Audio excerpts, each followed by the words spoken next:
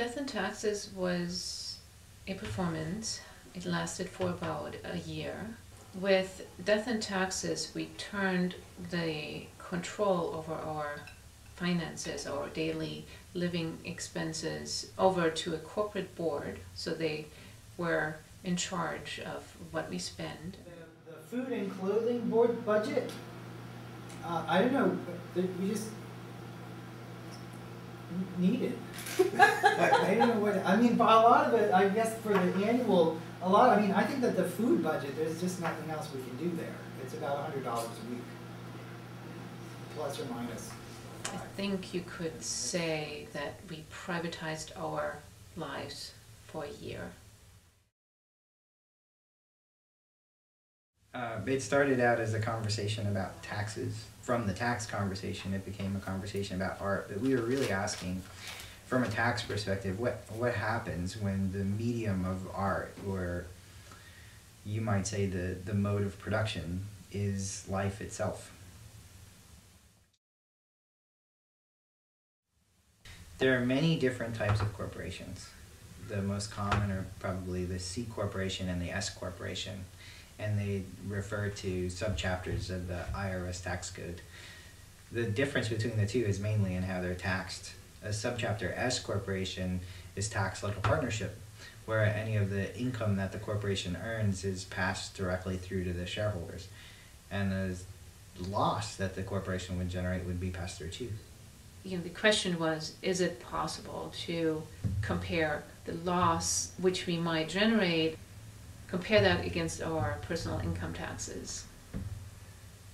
Our corporation had at its helm a board of directors of 15 board members. They were all professionals in the art community. They were museum directors, they were gallerists, they were writers, they were curators, and we also put artists on the board to create a balance. It was really important for us to work with a board that wasn't emotionally close to us we were afraid that there might be a situation in which the board has to ask us to do something that we feel uncomfortable with. And they and they did ask us to do things over the course of the year that we didn't necessarily want to do. I mean, it was all good for us to do, but um, it wasn't what we imagined spending our time doing over the course of the year. Because of the connections on the board, Sue Mark introduced us to Bruce Douglas, and Bruce is an environmental educator. And Bruce came by the house and showed us a number of ways to trim our utility bill. The board was really helpful. They helped us save costs. We're gonna have to clean it out if we're gonna freeze some food and um, and some other stuff. We have a lot of stuff in here. What you have, and then now maybe we can just sit down and talk about what kind of meals we can make with, you know, when we go shopping, what we can get to supplement the stuff that you have here, and then Uh-huh. plan out some meals that uses the stuff that you have, and also, I think that way, if you're planning for what you're gonna eat, then you're not running out last minute and buying things and spending maybe Right. money that you don't, you know, that Uh-huh. maybe you wouldn't if you, you know, were more organized. We, we reduced our expenses, our grocery expenses significantly. Just that you by more efficient shopping. Yeah. But knowing what you were going to eat over the next two weeks and then finding the cheapest place to get those things and getting your grocery shopping done. It, kind of took a day to go grocery shopping, but Yeah. it certainly cut down on the expense.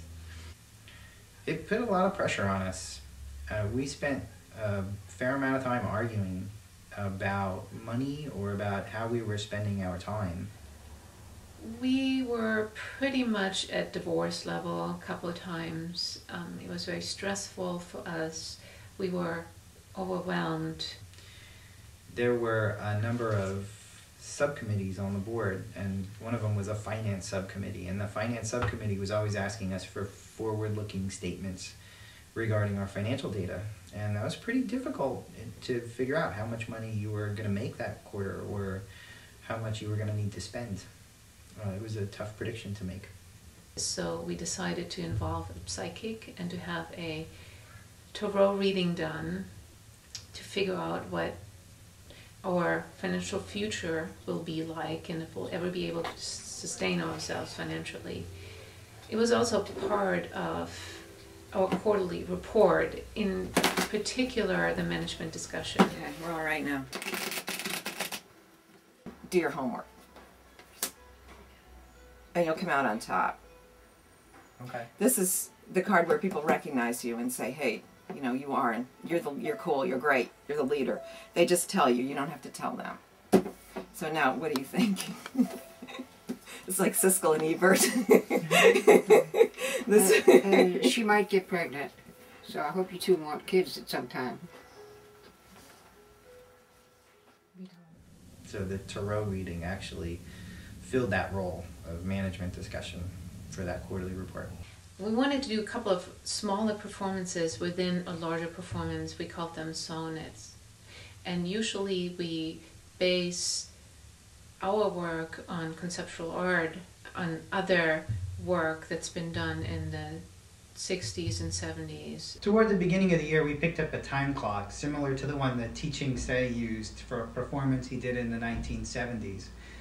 Our idea was to clock in when we came home from work and then to clock out as we were leaving for work the next day because we were working when we were actually living.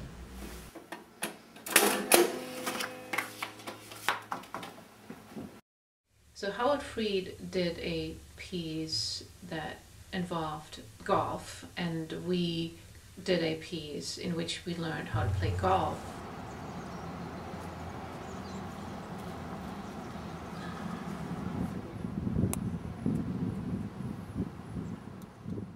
First of all, we thought that this would be a good activity. For me as a CEO um, in particular